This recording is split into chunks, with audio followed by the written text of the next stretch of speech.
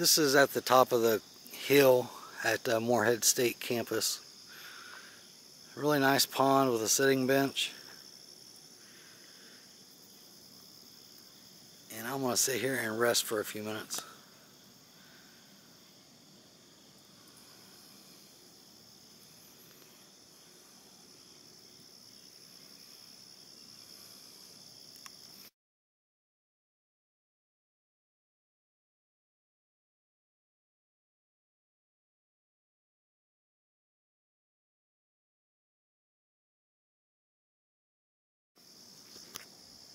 Started to record this yesterday and uh, I just had all kinds of uh, electronic technology problems.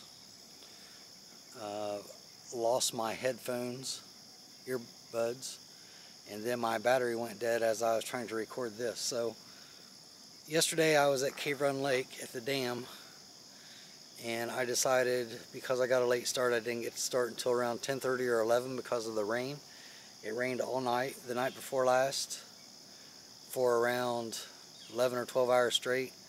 And then when I actually got started around 10:30 or 11 a.m., the trails were just a soggy mess. Um, I could kind of compare it to uh, a creamy potato soup, and you know the hard parts look hard until you stepped on them, and then you just sunk up to your ankles. So that made uh, yesterday's mileage really hard to get.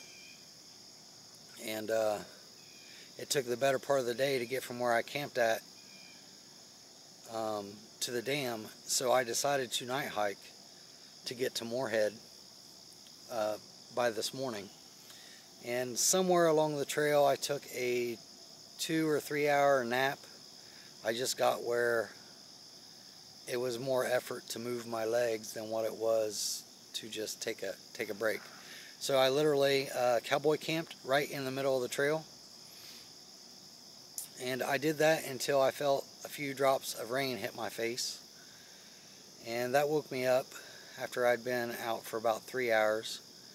And uh, I laid there trying to decide if I was going to pack up and get out of there, not knowing if the rain was just going to be a quick one or just a few showers and I laid there for about five or ten minutes and I felt more rain hitting my face so I said I better get up because I don't want my quilt to get wet and uh, I literally packed everything up made it into Morehead at about 6 a.m. it was still dark made it to the shell station I got some uh, snacks there uh, a Gatorade and I sat outside and just rested my feet and ate snacks for about an hour and charged my phone. And then from there, I made it to downtown Morehead and I stopped at Arby's and had breakfast. And I rested there quite a bit because, you know, I really haven't had any sleep. Three hours, and probably only two of that was actual sleep.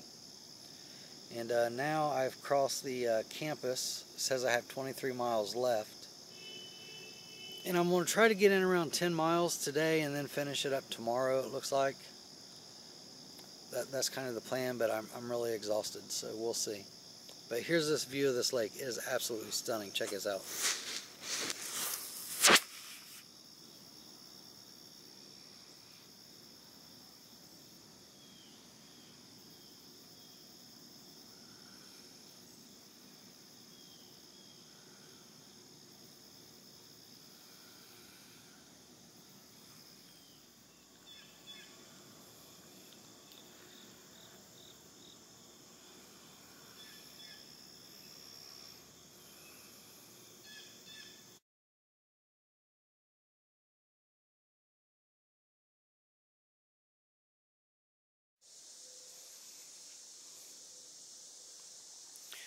I was walking up the trail and I saw what I thought was someone left a first aid kit behind because there's some like bandages spread out. And uh, I pulled the box out and it's actually a geocache. Not much in it, some odd end stuff. It is up by, let's see, where Sheltowee Trace and Eagle Lake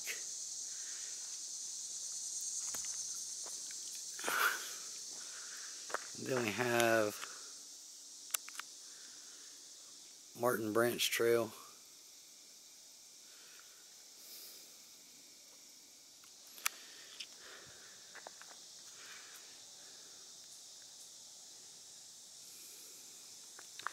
It doesn't really say what goes that way. Um, I'm guessing it must be Eagle Lake one and three quarter mile. So it must be a loop of some sort. Oh well, I'm going to take a break right here. I've been hiking for 24 hours straight now.